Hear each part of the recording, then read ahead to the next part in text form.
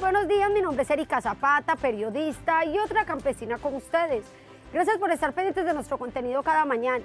Bienvenidos a la finca de hoy. En esta ocasión los saludo desde este predio que se llama Las Margaritas, aquí en el departamento de Antioquia. Miren, un lugar turístico muy bacano para venir a disfrutar con la familia. El clima es cálido, por eso aquí sobre todo se dedican a la siembra de frutas. Hay unas piscinas muy bacanas, unos ríos muy bacanos para venir a disfrutar. Este es el municipio de San Jerónimo, occidente del departamento de Antioquia. En el siguiente informe desde el departamento de Cundinamarca les vamos a contar cuál es la importancia de implementar el método de hidroponía en la siembra de las lechugas y esto para qué sirve. Además les presentaremos algunas noticias destacadas de la semana. Acompáñenos en este recorrido agropecuario por Colombia.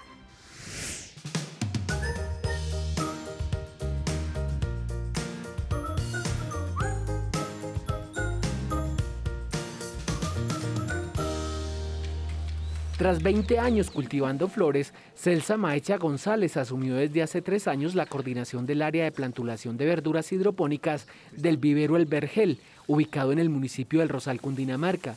Pero curiosamente, las semillas de esas hortalizas, mayormente lechugas que se desarrollan hidropónicamente, no germinan precisamente en medio de agua. Eh, estamos utilizando cascarilla y turba. Es la mezcla que utilizamos para el proceso de llenado de bandeja se prepara la mezcla, eh, allá tenemos máquina de de bandejas, eso es un proceso. Tenemos la máquina donde va llenando, dos personas ahí, la una ingresa a la máquina y la otra va recibiendo su bandeja ya lista y se le va pasando a las personas que están sembrando. Tenemos niñas sembrando lechuga en unas máquinas especiales y otro muchacho sembrando todo lo que es peletizado en otra máquina. El éxito de la germinación de las semillas dependería básicamente del control en las variables de clima, por lo que las bandejas después de sembradas son cubiertas con polisombra y llevadas a un cuarto oscuro donde la temperatura pueda ser estable. En días fríos la semilla de lechuga tarda más para germinar. Si hace sol, pues ellas tienden a crecer más, si hace frío tienden a quedarse. Que digamos, si llueve, una lechuguita puede aguantar también cuatro o cinco días y las pepas seis días. Si hace un día frío, ellas no, no van a germinar tan rápido pero si hace un día de sol, también podría ser en dos días que nos toque evacuarlas al cultivo. La calidad de las semillas que acá se compran certificadas sería otra variable que determina el porcentaje de germinación de cualquiera de las 10 variedades que semanalmente suman las 365 mil plántulas, 3 mil bandejas sembradas diariamente. Lo que es vera peletizada se maneja bastante. En semanal estamos produciendo 300 mil de solo vera peletizada.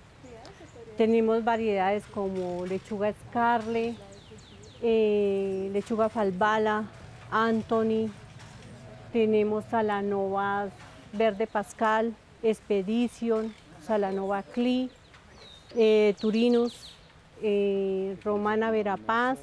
Acá estamos apuntando a que toda la semilla sea peletizada porque tiene una muy buena calidad, una muy buena germinación. Las semillas desnudas, pues no todas son tampoco malas, pero igual la germinación es muy baja. Entonces se pierde mucho el producto. Digamos, si una plantulita no germina, pues ahí está la turba y está la cascarilla que ya va a ser pérdida porque acá no se recicla nada. La semilla de lechuga germina rápidamente en sustratos fértiles, bien drenados, que no tengan encharcamientos y con temperaturas entre los 15 y los 20 grados centígrados. Acá, luego de la germinación, cada bandeja es llevada a estas camas en altura, donde las condiciones de manejo cambian drásticamente. Cuando ya empiezan a reventar, que son los tres días, entonces las traemos al espacio y de una vez les aplicamos agua. En el caso de las lechugas, nos toca mantenerlas tapaditas porque los animalitos se las comen. Se le hace su, riego, solo agua y después de 10 días se empieza la fertilizada, porque si la fertilizamos al momento de sacarla, la plantulita tiende a alargarse, a crecer y de pronto uno llega a ver esta, esta bandejita muy bonita, pero a la hora de cosecharla no presenta raíz. La plantulita siempre debe estar con la raíz blanca, si encontramos algún problema de raíz negra, pues tenemos problemas en la finca. En la etapa de crecimiento es vital el manejo bajo invernadero. Acá incluso se ponen algunas bandas de colores y con pegantes para atrapar a pequeños insectos, las cuales se cambian cada cuatro meses. Si lo tuviéramos descubierto, al momento de caer granizo o cualquier cosa, un frío muy fuerte, las plantulitas se nos pueden quemar por lo que son muy pequeños. O sea, hasta ahora están en su proceso. Esto tiene más o menos metro y medio del piso hacia arriba Eh, todos los banquitos, como los pueden ver, están marcaditos. Ahí se puede mirar qué variedad tiene cada banco. Todo está organizado por variedad. Ya sabemos cuántas bandejas nos caben en cada espacio del banco. Todo está controlado. La frecuencia en actividades como el riego, fertilización o fumigación contra plagas y enfermedades dependen básicamente de las necesidades identificadas con el monitoreo diario de todo el plantuladero. Hay días en los que no tenemos que hacer riego. Eh, la fertilizada, pues en el transcurso del, de la mañana, todos los días yo doy el paseo.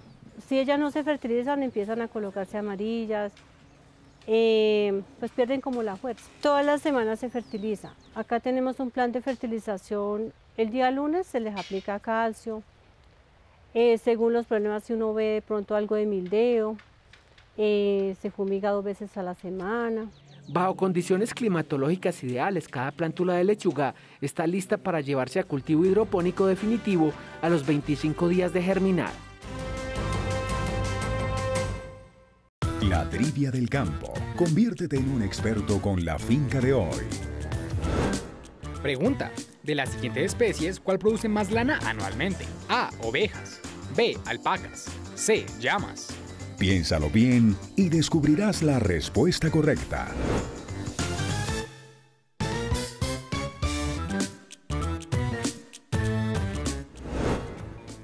Pregunta. De las siguientes especies, ¿cuál produce más lana anualmente? A. Ovejas. B. Alpacas. C. Llamas. La respuesta correcta es la A.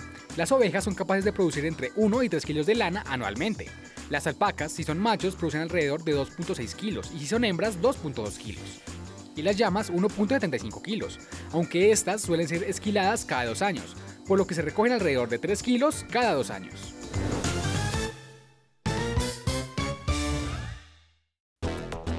Noticias agropecuarias. La Administración Municipal de Chipaque adelanta proyecto por un monto superior a los 24 mil millones de pesos y cuyo objetivo será la construcción del frigorífico más grande e importante del suroriente de Colombia. Ante esto, Yuri Castellanos, directora de la Oficina de Desarrollo Agropecuario, explica más a fondo cómo será el funcionamiento del refrigerador y qué beneficios traerá a la comunidad. La planta de beneficio animal es un conjunto de equipos, infraestructura y recurso humano en donde se ven los diferentes procesos, donde tenemos como primer paso la recepción de los animales, verificación de la documentación, ante mortem que garantiza el beneficio animal de manera segura y con bienestar animal. Se tiene la manga de conducción, que es donde se hace toda la parte del sacrificio, post-mortem, que es donde se verifica la calidad de la carne, el almacenamiento, la refrigeración, la distribución de los productos cárnicos comestibles y garantizando la mejor calidad. Este proyecto beneficiará a la comunidad cumpliendo con sus necesidades y generando de forma directa e indirecta alrededor de 5.000 empleos. Síguenos en arroba la finca de hoy. Hemos llegado al final de nuestro programa, pero espere mañana más historias, anécdotas e información del campo colombiano. Las personas que están en otros países nos pueden ver a través de la señal de Caracol Internacional y ustedes a través de las redes sociales que aparecen en pantalla. Ustedes no solamente son los protagonistas de este programa, también del trabajo de la tierra del país.